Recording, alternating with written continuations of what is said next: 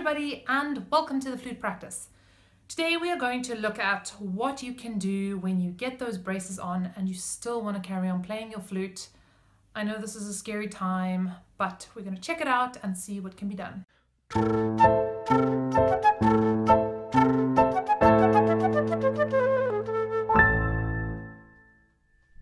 I want to start off by saying, or maybe encouraging you not to completely lose hope early on. In the beginning, everything is going to be very sore, very tender. It's going to be very unpleasant to even try and play. Don't even try and play until it really has settled down and calmed down. When it has settled down, you're going to try and play, and probably you're going to find that either you can't play at all, this has happened to some people, or that your sound is really just horrible and nothing like it used to be.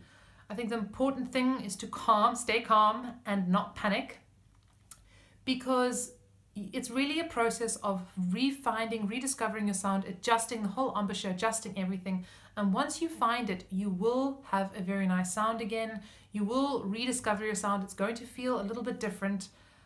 But what is really cool about this is you learn a level of kind of like flexibility and embouchure flexibility because you're learning to adjust. And when you take those braces off again, I'm sorry to say it, but you're going to have to readjust again.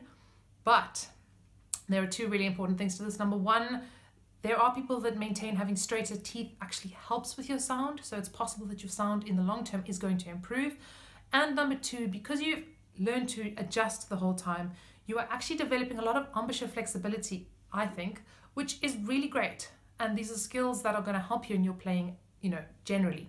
So don't despair quite yet. But let's look at some really practical things that you can do.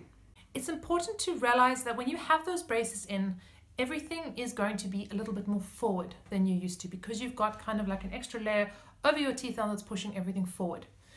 What this means is that you need to think with your embouchure more forward.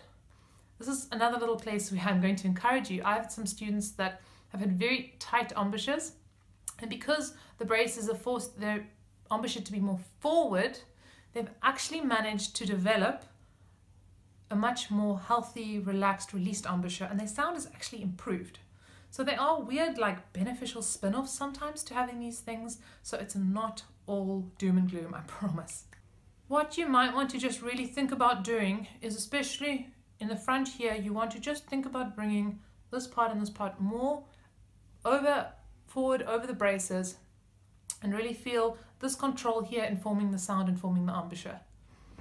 I find if you try to get too tense here and try and control here too much, you kind of just get in the way of the braces, um, especially so when you have braces more so than other times. The other thing that can happen is that your embouchure hole or your aperture kind of falls in a slightly different place than it did before your braces.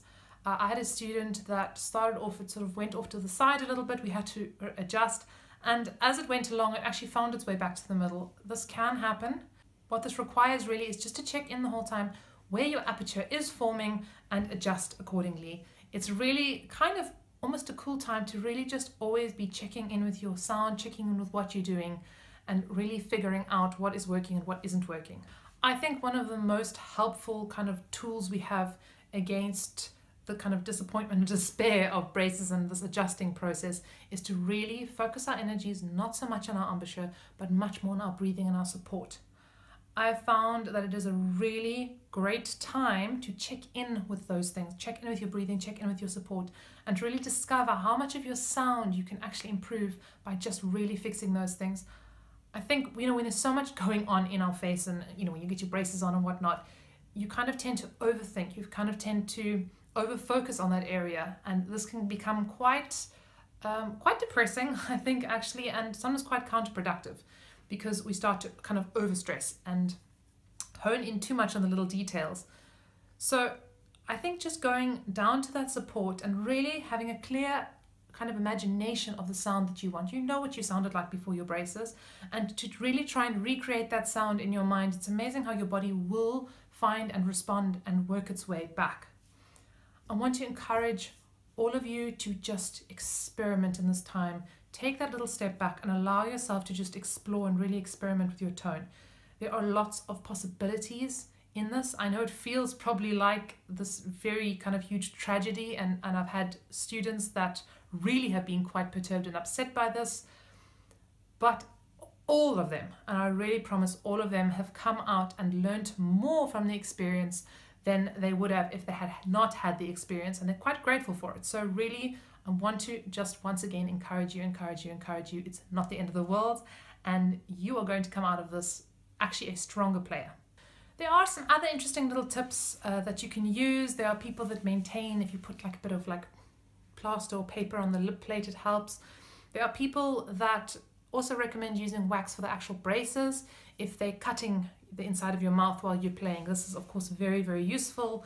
Um, you, you kind of just want to check in and, and see what problems you're coming up against. If you have any questions or any concerns, please put them down in the comment section. I will say as a little disclaimer, I have never had braces myself, but I've taught quite a few students with braces, so I've kind of developed my strategies from that. So maybe there's some of you that have had braces and that have got some interesting and useful insights for this community. I think that would be really awesome and really wonderful. I really just encourage us all to share ideas, to comment, and to kind of be active in helping each other. Until then, everybody, happy practicing and see you next time.